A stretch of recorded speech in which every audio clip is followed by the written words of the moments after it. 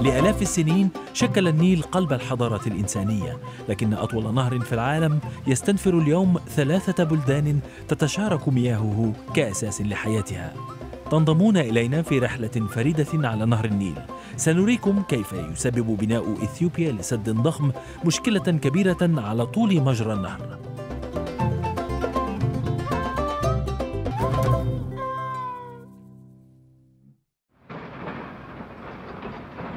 هذا هو سد النهضة الإثيوبي الكبير وهو محور قصتنا. عند الانتهاء من بنائه سيكون أحد أكبر السدود في العالم وأكبر محطة لتوليد الطاقة الكهرومائية في أفريقيا. المكان حار جدا هنا وأنا أقف مطلا على هذا المنظر الهائل للسد. انظروا إلى تلك الزاوية البعيدة. يمكنكم رؤية الارتفاع النهائي المتوقع للسد. سيصل إلى هنا. سيتم بناء هذا السد الأسمنتي نحو الأعلى سيصل عرضه إلى 1.8 كيلومتر وبعمق 170 مترا تقريبا.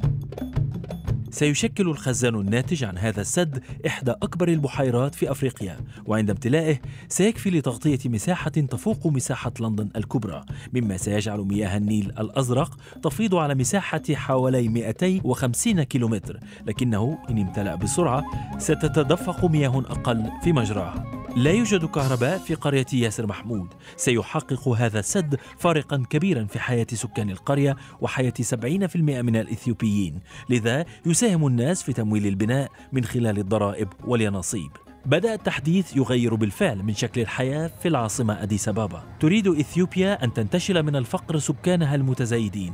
انظروا إلى أعمال البناء القائمة. إنماء الاقتصاد أساسي هنا. ولكن لسرعة التغيير ثمن فلا يوجد مجال كبير لحرية التعبير هنا.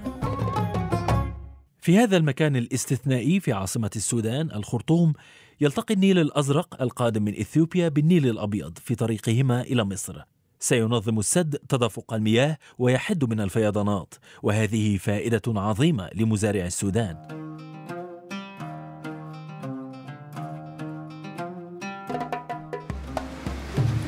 هناك مشاريع ري ضخمة هنا ولدى السودان اتفاقية طويلة المدى مع مصر حول المياه ولكنهما على خلاف اليوم حول مقدار استخدام السودان للمياه.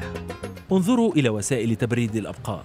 الأنابيب المعدنية هي مكيفات هوائية. إن الكهرباء الرخيصة التي يوفرها السد تعني تبريدا للأبقار والكثير من الفوائد الأخرى. في رحلتنا باتجاه شمال النيل نلتمس انحياز السودان إلى إثيوبيا بشأن هذا السد. يعود هذا التنافس الإقليمي إلى آلاف السنين إلى زمن الأهرامات السودانية.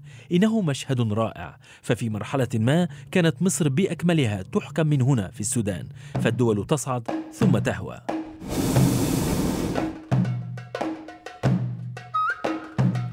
أهلا بكم في ثاني محطة لنا في الرحلة مصر. وما أجمل أن تشاهدها بهذه الطريقة. فنحن هنا نحاول فهم سبب معارضة مصر الشديدة للسد الذي تقوم إثيوبيا ببنائه أعلى النهر. لا تزال هذه المباني القديمة تقف شاهدة على اعتزاز مصر بهويتها الوطنية وأي تهديد للنهر يعتبر تهديدا لسيادتها.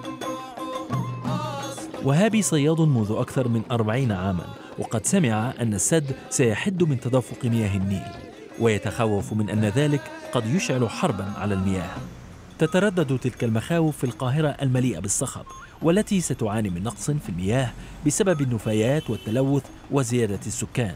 لا تثق مصر في أن تتحكم إثيوبيا فيما يشكل بالأساس صنبورا كبيرا بإمكانها إغلاقه. فقد شرعت إثيوبيا بإنشاء السد دون تشاور أو تحقق من تأثيره أسفل مجرى النهر. وغضب مصر يثير خلافا إقليميا كبيرا. هناك توتر شديد حول هذا النهر العظيم ولكن لو تأملنا في رحلتنا الطويلة سنجد أنه من الممكن تجنب حرب على المياه. لو أن إثيوبيا والسودان ومصر اتفقوا على تقاسم مياه النيل.